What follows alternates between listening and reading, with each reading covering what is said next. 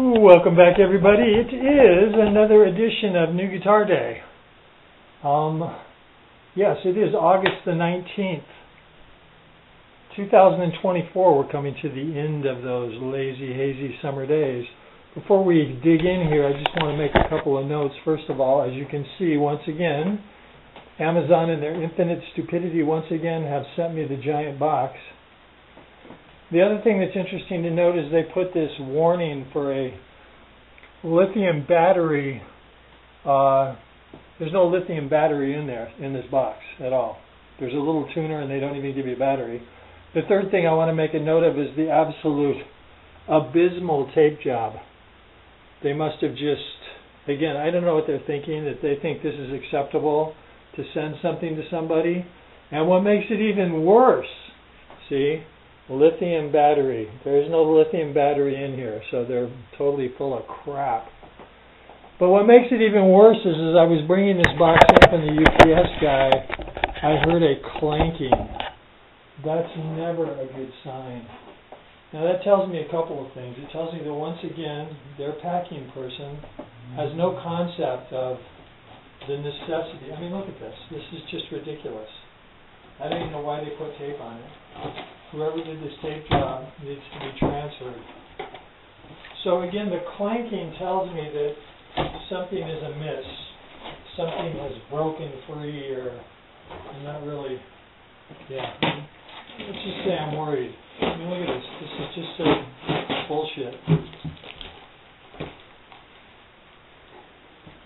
And this looks like it is potentially no, it looks like it's a brand new guitar. Like it was ever opened. This thing is heavy in the box. I don't know why that is. Because usually they're not that heavy. But let's see. It has a tag on it. Let's see what this tag says. If this came from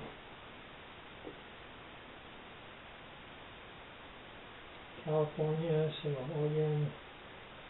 Says it's seven pounds. So that's sort of unusual, that part. But it does look like the box has only been taped once, so we'll consider that to be a good sign. But I am curious as to, well, that was broken. That seal had been broken. Maybe someone taped over the tape. I don't know. It's hard to tell these days. I hate to be so damn suspicious with Amazon, but you do some shady crap. Now, I understand that your customers do a lot of shady crap as well.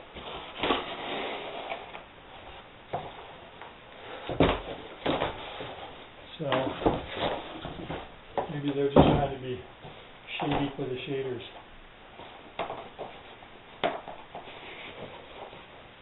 Maybe it was just a zipper clanging around. So this has definitely been opened because this stuff should all be in the bag.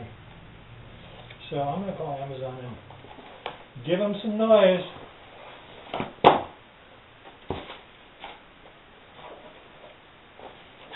So let's just crack this puppy open. So, as you can see, this one doesn't have, yeah. so this is like the first version of their K6 model. This one having the bridge pins, like an acoustic guitar on the bridge, instead of string fiddle. This one also, I believe, has the button batteries. This thing is warm. Yes, it has the button batteries. Fret ends are much better. So yeah, this was the model that on the uh, well, it looks like it survived. I don't know what was clanking around in the box. It had me worried there for a minute. It just really felt like, I mean, the fret ends are much better than the other one. They, they still need a little bit of smoothing. You can see there's like glue residue around this. I'm sort of afraid this thing's going to just snap and come flying and hit me in the face. I think I'm going to open it up and check it out. So I'm going to tune it up, see what it does, see how it flies. But yeah, that the boxing job is just absolutely just They should be embarrassed. And I know they're not, but they should be. I mean, they're supposedly the premier mail order company. And that tape job, just really, really bad. Anyways, we'll be back. We'll be back. Welcome back, everybody. It is now 5 o'clock in the afternoon. We had a little time. Tune this thing up, stretch the strings, and take it out for a test drive. And so here's the preliminary observation. So this guitar, nowhere on the guitar on the box anywhere does it show a model number for this. This is exactly like the K6, which did have a model number on the box. The two notable differences, this has the acoustic guitar style pin in bridge setup. And if you take the back cover off, this also has the two button watch battery setup for the preamp. So those are the two notable differences. So I'm guessing this was the original version.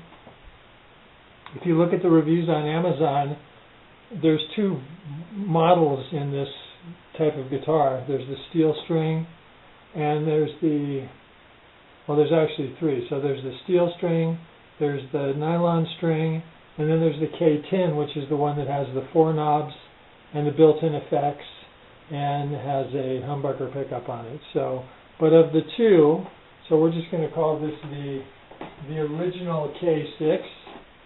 Um, the people who had the nylon model guitar, some of them literally had the bridge just flying off mid-plane, just the glue let go and wham. Now, if you look at the way a nylon string guitar is set up, the bulk of the pressure is right here at the back of the bridge. Now I took off the back plate on this. Another interesting thing about this guitar is this guitar weighs 7 pounds and the one that I had, the version number 2, weighed 6 pounds. I think part of the reason is is this one is only routed out right here. They just must have had a bunch of spares of these. It would have been nice if they would have just put a little plate, but again, cosmetic mumbo jumbo, who cares? It's hard to believe that just this not being routed out is a whole pound.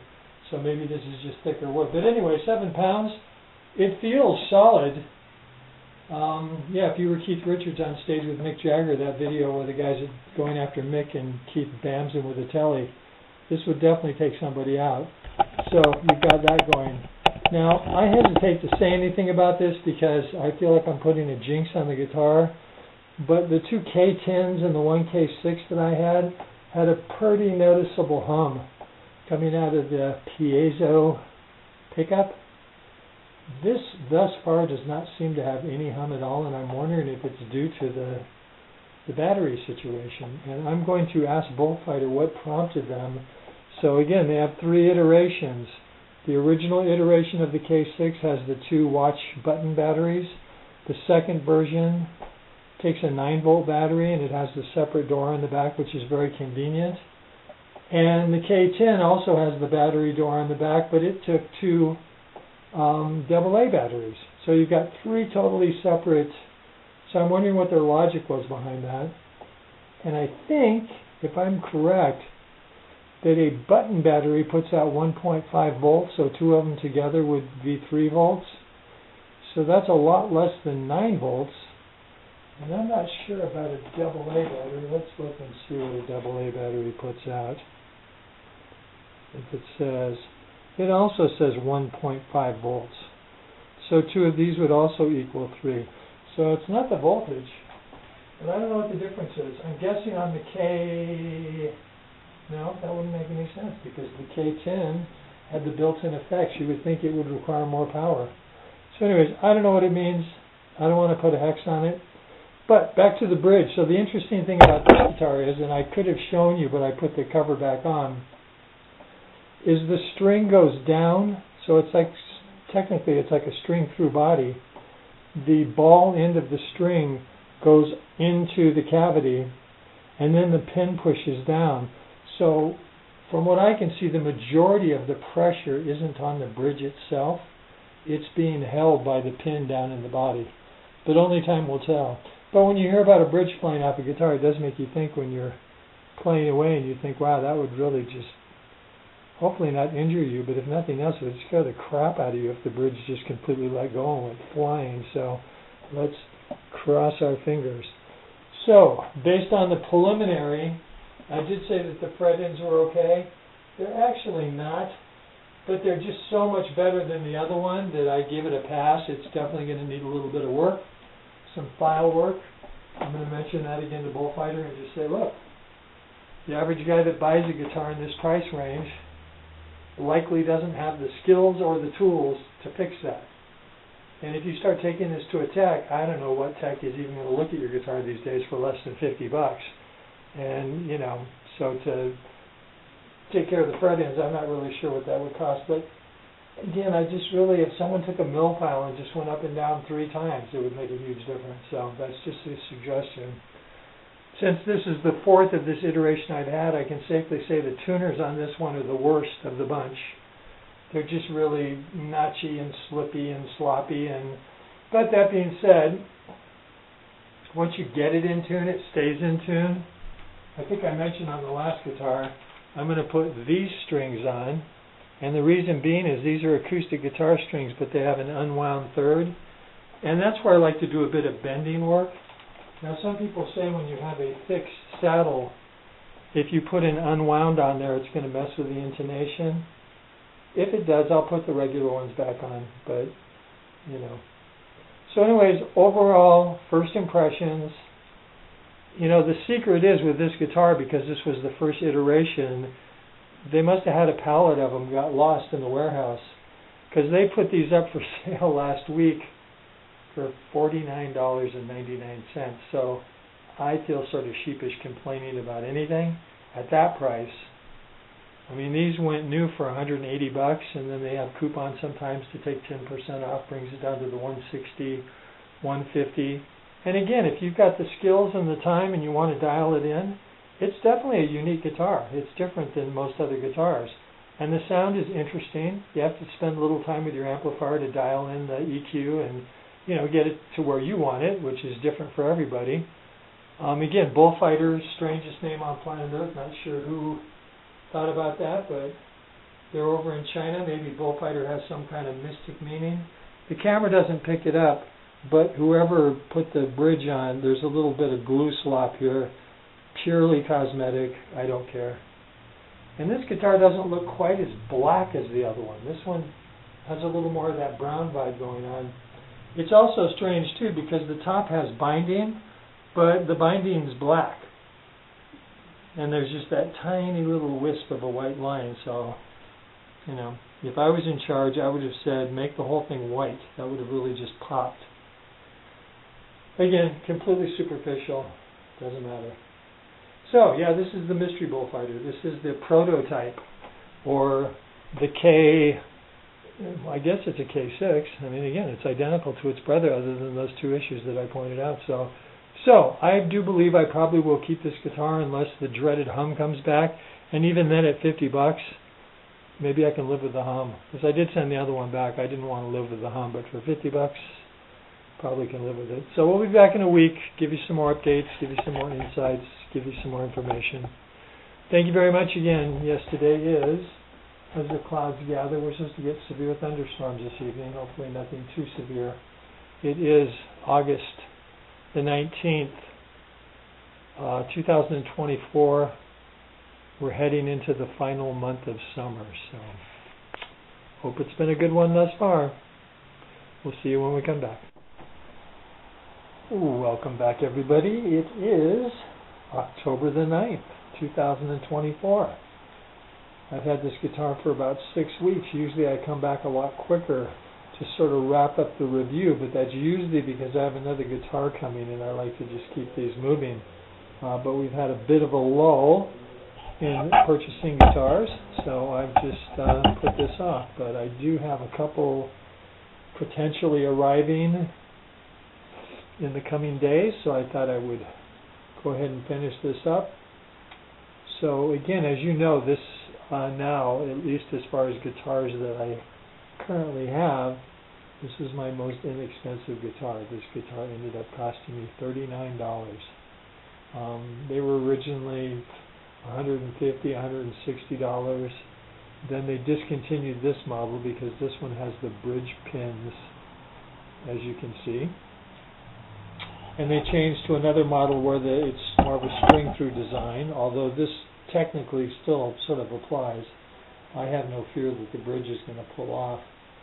I could explain it to you, but why?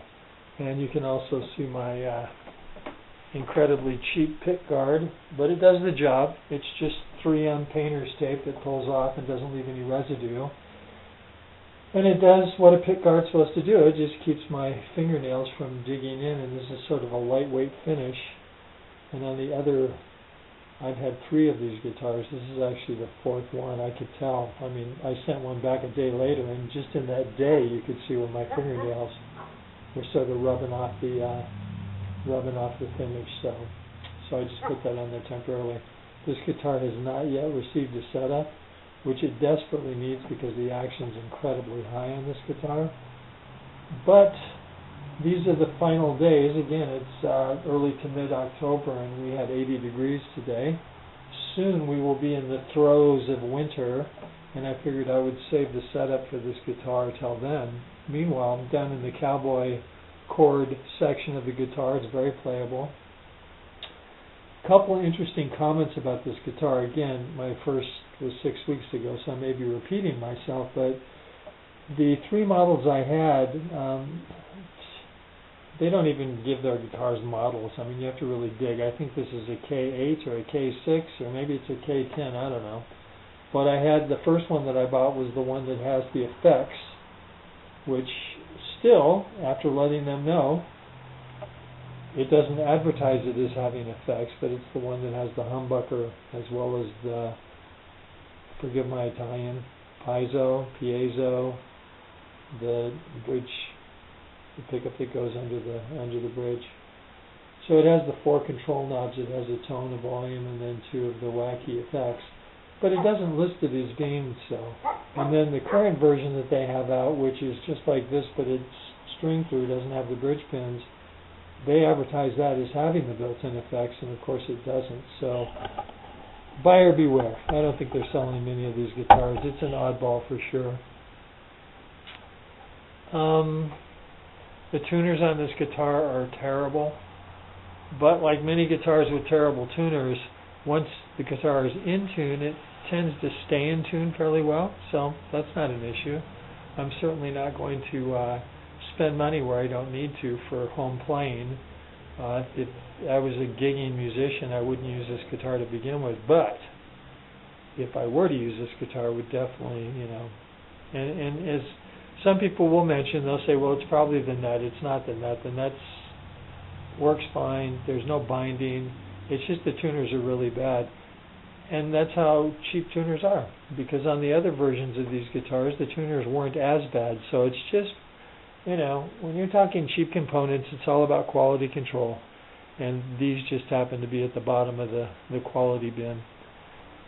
I probably mentioned it six weeks ago, but I'm going to mention it again. So of the three previous to this one, all three of them had a very annoying 60 cycle hum that would disappear when you touch the jack plate or the cord.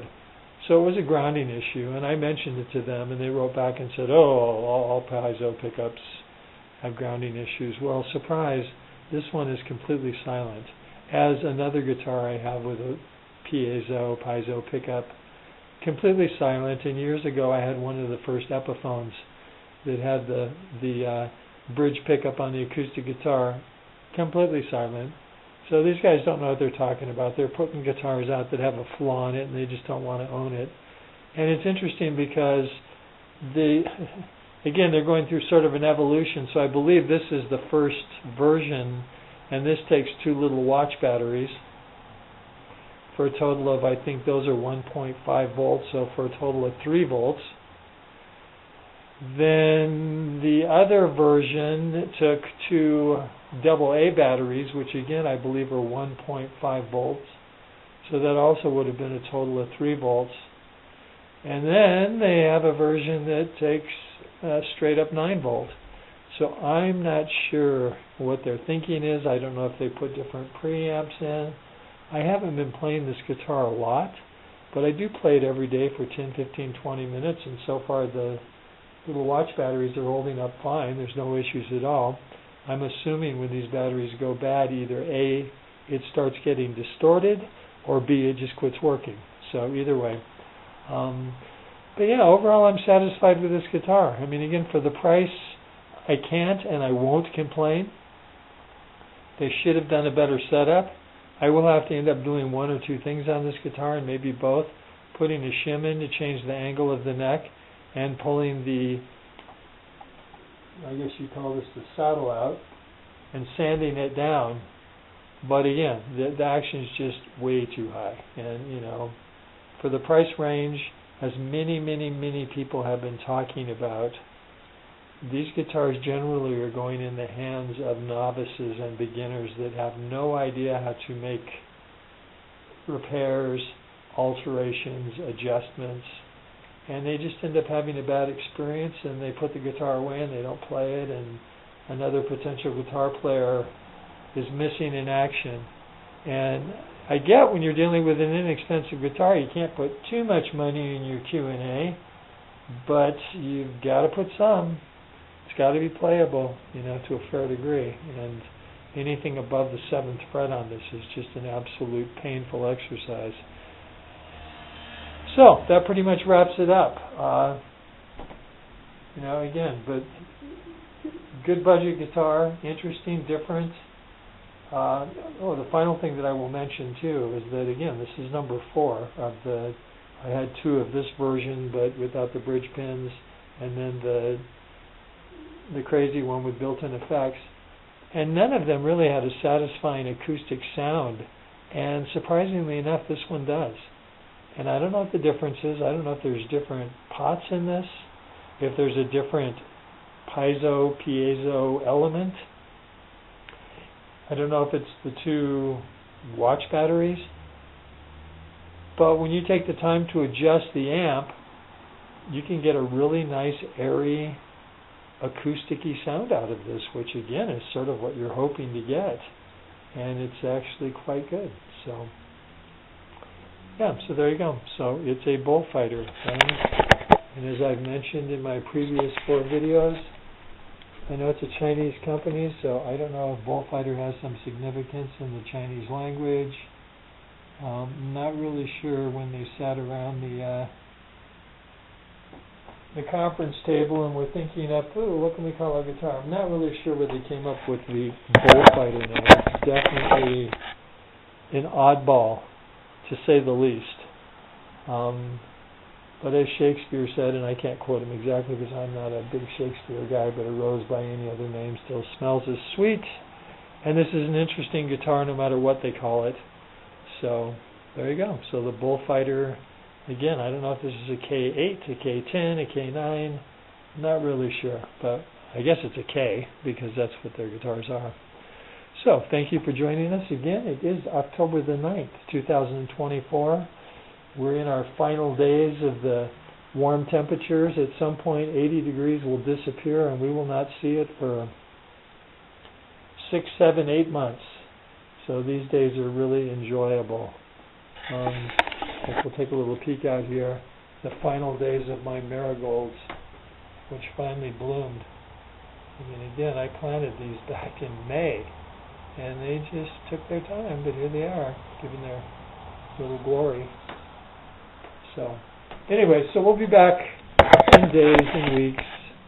Uh, yeah, with uh, at least one guitar is actually ordered, two are on back order, and I'm clutching pearls and gnashing my teeth. Oh, by the way, this guitar does get two thumbs up for a cheap oddball guitar. So, yeah, so I'm deciding whether to purchase another guitar tonight. We'll see. Stay tuned for further developments. Till then, have a great day.